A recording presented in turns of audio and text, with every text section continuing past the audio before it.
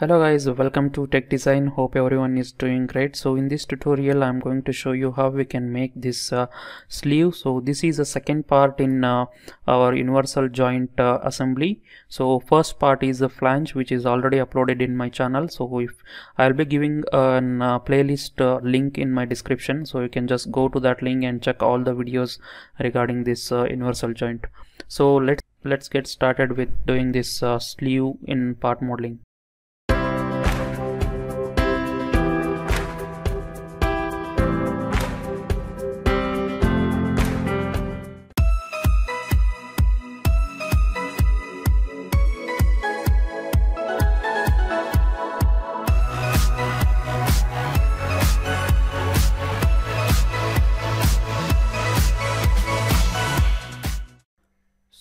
go to new file. So hit a new file and um, I will create the file in the same folder.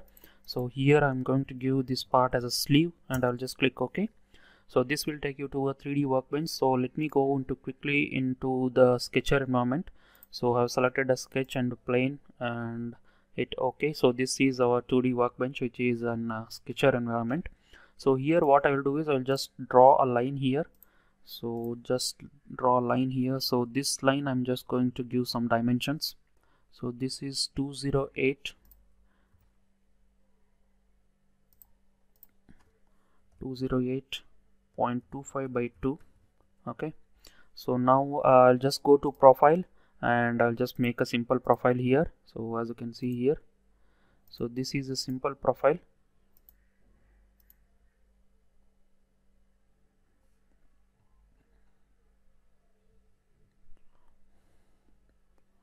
okay sorry guys.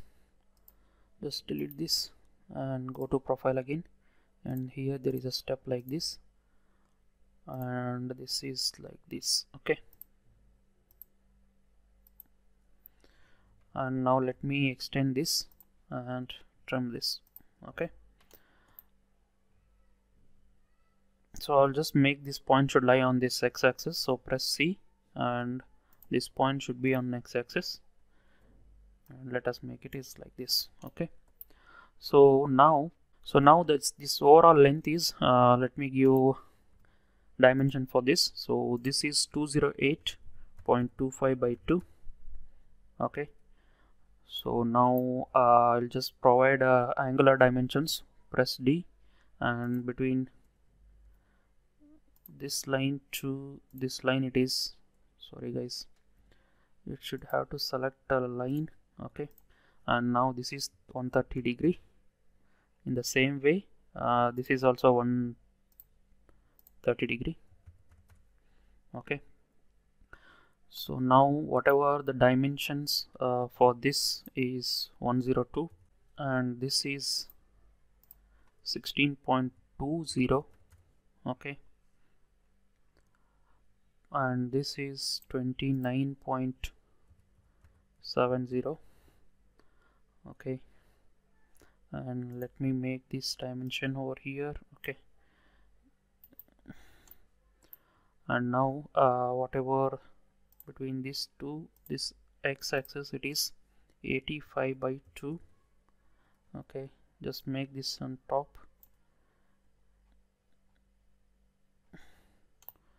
So now uh, the dimension for this is 170 by 2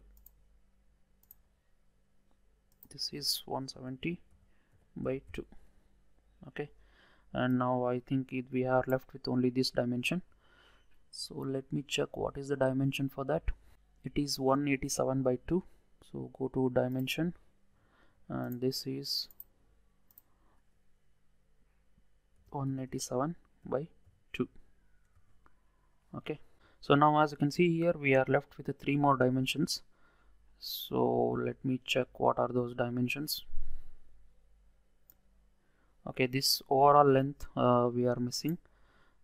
So now what I'll do is so now uh, in order to provide a overall length what I will do is I'll just draw a circle here. So circle with a diameter of 153 and I'll just make this as a construction. And this point should lie on this x-axis and the distance from here to here it is sorry the distance from this edge to this point it is 193.3 okay? So now whatever the distance from here center to this it is 487.90 okay so now we are left with two more auto dimensions. So let me see. Okay this dimension and this dimension is missing. So whatever uh, this uh, um, step we have it should lie on this line. So press C and this point on a line. So these two should be properly aligned. So now we can left with only one dimension. That's it, that is this dimension. So this dimension is uh, let me give the dimension from this point. It is 27 okay. So now as you can see is our full sketch is fully constrained. So you can just make down the dimensions and uh, we'll just finish the sketch. So now what I will do is I'll just go to revolve and select this sketch. My vector will be along this direction and the point will be this. Okay. You can just click ok. So now as you can see here this is the shaft we got. So now in the same way what we have done for the you know um, the first part we are going to proceed in that way. So I'll just go to sketcher on this plane. So now what I'll do is I'll just draw a two lines here. Okay these two lines. And then there is an arc here. So this is similar to the one we have done in the first part. So if you have not checked that video please go and check it out. So let me delete this you know tangency so now these two should be concentric. So I'll just made it concentric. And now whatever these two lines should lie on the same uh, vertical alignment. So let me give vertical alignment to these two. Okay? And these two as well. So now whatever the dimension we have so let me give the dimensions from this to this edge this is 212.63 okay. And this whatever the uh, arc we have so arc dimension is 156.75 okay. So this point should lie on this lie axis. So press C and point should lie on this axis. And also this point should lie on this axis okay so also this point should be at the ex exactly at this edge. So what I will do is I'll just uh, extract the edge here. So we'll go to you know intersection point. So for this intersection point we need so just reverse this and here we got a point. Now coincide so this point should coincide with this intersection point. Okay. So now as you can see here now we need to close this. So press line and close this now. So now we have we can see here there are three dimensions are left. So let me give this dimension with the x-axis it is 313.5 by 2 okay. So let me switch on this. So this radius is required and also this dimension is required. So now whatever this dimension it is 29.7 okay. So now okay this radius is required. So now as you can see here this is the, there is an you know uh, distance is required. So we can just give the distance or else we can just give this whatever the radius we have. So now what I will do is press D and between this point to this point it is 72.29 okay so now our sketch is fully constrained. We will also close this curve whatever open uh, profile we have. So i'm just going to close this and finish the sketch.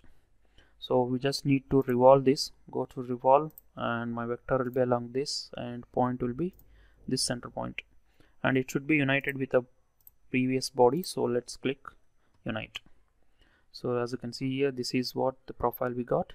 So now what I will do is I will go to sketch again on this plane again sorry. And I'll just click OK so here what I'll do is I'll just draw a circle. So this is a circle with a 153 diameter. And this circle should lie on this axis. So okay these two are aligned now. So now there is a distance between uh, this edge to this axis. It is 193.3 and now there is a line here. This line is tangent to this. Okay in the same way the other side as well. So let me give a dimension for this line. So this is 7 mm. So hit D and this between these to this it is 7 mm. Okay. So I'm going to make a mirror of this curve so that it will come on the other side as well. So go to mirror curve and select this curve and this is an x-axis. Can just click you can just click OK. So now as you can see here we got this profile. We just need to remove the material. So for that what I will do is I will just close this profile.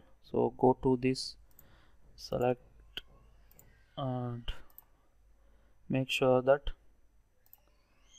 this is completely closed. Okay so now we don't need to provide a dimension for this in order to you know make it constrained. So whatever we have here that is more than enough. We can just finish the sketch. So now what I will do is uh, I'll just go to extrude and let me select a single curve and uh, stop at intersection and provide 1 mm and later we can just provide the more value. So here what I will do is I will just uh, start selecting the curves let me go here and static wireframe okay. So this is the curve that I'm going to select.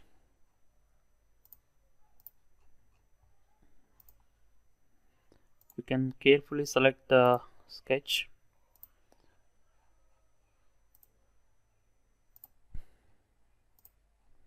Okay. So I have selected completely. Now we can give a symmetric value and extrude this. So it should be removed from the body and we can just click ok. Now as you can see this is our model. Okay so now so now what I will do is I'll just go to sketcher environment again. So go to sketch and now select this plane. Click ok. So now I'm going to do uh, two rectangles. So this is my first rectangle and there is a one more rectangle like this. Okay and now what I will do is uh, just give a dimension so whatever this dimension it is 8.4 okay. And whatever this dimension it is 44.55 okay. Now now I just need a intersection point over here. So let me go to intersection point and select this curve and you can just click OK and from this point to this edge there is a distance of 7 mm so I'll just provide this as a 7 mm okay. So now this whatever this point is there it should lie at the center of this uh, circle. So press C and let me make it a vertical alignment with this point to this point. Okay. So now what I will do is uh, I'll just make a dimension for this. So this point should lie on this point. So they those two points should be you know um, coincide each other. So this point I'll make it as here. And now let me give this dimension. So this dimension is 68.85 so now uh, whatever this edge is there so it has some distance between this center line. So press D.